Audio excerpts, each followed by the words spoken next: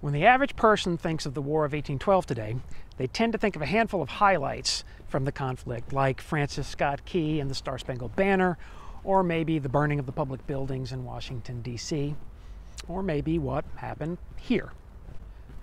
During the January 8, 1815 Battle of New Orleans, a force of U.S. Army soldiers, U.S. Navy sailors, U.S. Marines, and militia under the command of General Andrew Jackson stopped a British attack that attempted to capture the city. And when the history of this battle is taught today, it's typically done using a series of bullet points. And among those bullet points, the one that is most frequently repeated states that the Battle of New Orleans was the last battle of the War of 1812. That's a great factoid, but is it true?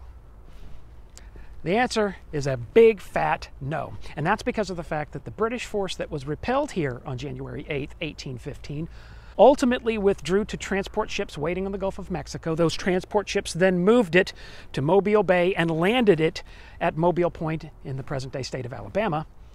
After which, that assault force, the same British assault force that had fought here, then laid siege to and ultimately forced the surrender of the American garrison of Fort Bowyer, a temporary fortification that was situated where Fort Morgan is today.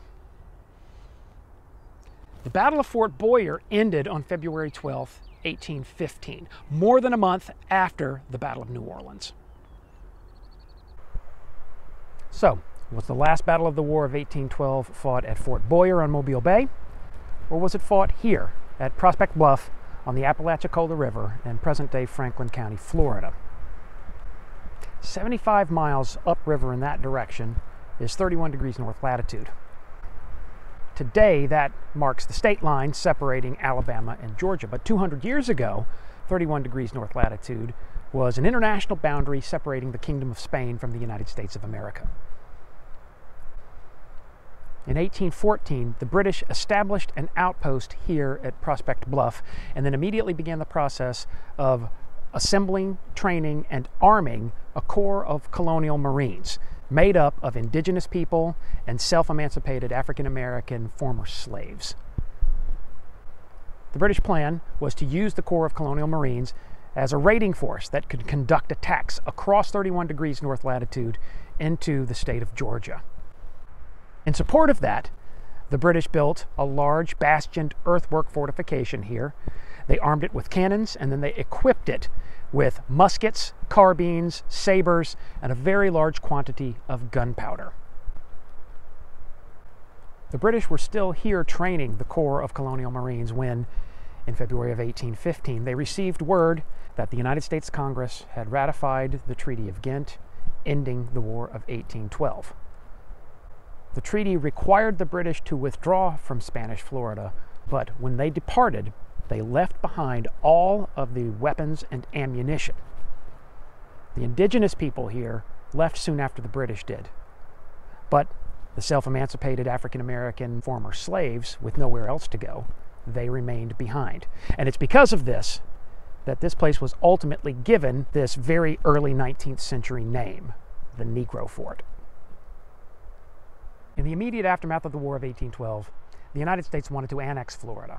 The American military, though, recognized that a well armed and well provisioned fortification full of fugitive slaves would be a problem. So ultimately, Andrew Jackson in mid 1816 issued an order for a military expedition to proceed here and attack and neutralize the Negro fort. That attack emerged in the form of an expedition that sailed upriver on gunboats and carried out an assault on Prospect Bluff on July 27, 1816. In that battle, a single shot fired by one of the American gunboats penetrated the powder magazine, caused an explosion that set off all of the gunpowder inside of it, and in that explosion, almost everyone inside the fort was killed, and that was the end of that. The battle that took place here occurred more than a year after the Treaty of Ghent ended the war. But the circumstances of this battle were entirely created by the circumstances of that war. So, where was the last battle of the War of 1812 actually fought? Well, it wasn't fought in New Orleans, and it certainly wasn't fought at Fort Bowyer on Mobile Bay. The last battle of the War of 1812 was fought here at Prospect Bluff.